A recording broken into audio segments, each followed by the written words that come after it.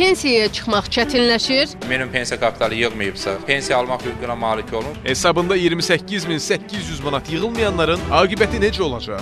çatışmayan vəsaiti ödəməklə həmin pensiyanı əldə edə bilərlər. Pərdə plyonka qadağası ləğv olunacaq. avtomatik o qüvvədən düşməlidir. Əgər düşmürsə, biz kömək eləməliyik. Buna görə cərimələr yazılacaqmı? qırmızı işığın tələbini pozmursan, sərxoş vəziyyətdə maşın sürmək deyil. Bütün bunları hər səhər tezdən burada müzakirə edəcəyik. Ölkənin əsas səhər xəbər gözləyirik.